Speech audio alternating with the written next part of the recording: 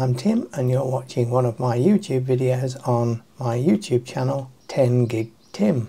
In this video I'm going to be showing you how to configure your UDM Pro UniFi Dream Machine or UDM Pro SE to enable safer web browsing and prevent access to malicious websites and adult content. So first thing we need to do is to log in to your UDM Pro or whichever UniFi OS device you're using and make sure that you're on UniFi OS UDM Pro version 3.0.20 and also make sure that your network is up to date and this needs to be on at least version 7.4.156 as if you're using an earlier version some of these options might not work or might not be available.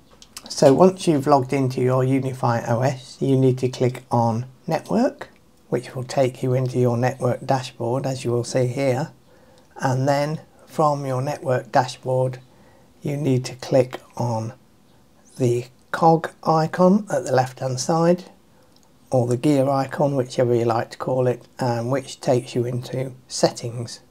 Once you're in settings, the first thing you need to do is make a note of the DNS servers which will be changing in the internet options. So, as you'll see from this here, we're going to be using open DNS servers which will block not only malware but also adult sites as well, which is uh, a better option if you have uh, children, for example, that you wish to not uh, allow access to uh, adult sites. So you need to be uh, using the OpenDNS Family Shield DNS servers and these are 208.67.222.123 and for the secondary DNS server, you need to be using 208.67.220.123. So I would suggest making a note of them at this point. So once you have done that, on your UniFi network dashboard, you need to click on Internet and then on your primary WAN or secondary WAN, whichever you're using, or both, you need to change the DNS servers in the WAN connections that you're using.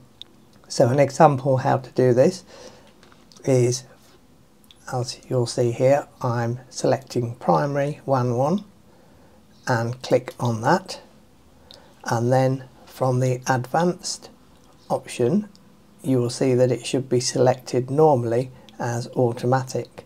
You need to select manual which will then bring up the options below it from being greyed out. So under DNS server as you'll see here I'm hovering over you will see that it's set to auto. You need to untick this which will bring up a primary server and a secondary server box. So in the primary server, you need to enter 208.67.222.123 and then in the secondary server you need to enter 208.67.220.123. So in the first one, to confirm, you should have 208.67.222.123 222.123 and then in the secondary server box you should have 208.67.220.123. So once you have changed those you need to click on apply changes.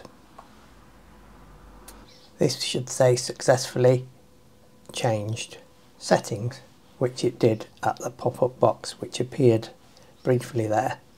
So once you have done that, you then need to go into firewall and security, which is the option here I'm hovering over as you'll see. Once you've selected that, from the top downwards, you need to go and select ad blocking and make sure that that option is ticked. Scroll down and then under suspicious activity you need to select notify and block. Then under detection behavior you need to select that as high which should then say underneath that 35 of 35 detection types. You can if you so wish edit the detection types by clicking on the edit word at the side there. As you'll see it brings up a pop-up window with all of the detection types ticked. If you want to use any options or you have any services enabled in your network that you do specifically use then you need to untick the option concerned but for this video I'm just clicking on save to enable 35 or 35 detection types and if I get any problems then I will edit the detection types further. Moving down under dark web blocker what this does is prevents traffic encrypted by Tor from moving through your networks. Now for those that don't know the Tor network allows you to access malicious or uh, illegal for example websites by using the Tor network and normally you would use a Tor browser for this. We do not want to use the Tor network so we will tick the box to enable dark web blocker. Then under malicious website blocker you need to make sure that that option is also ticked and then once you've done that click apply changes. You should then see successfully applied changes to firewall and security settings. So that completes setting up the options. Now that we've enabled those options and saved the settings, you should now find that malicious websites and adult content related websites have now been blocked.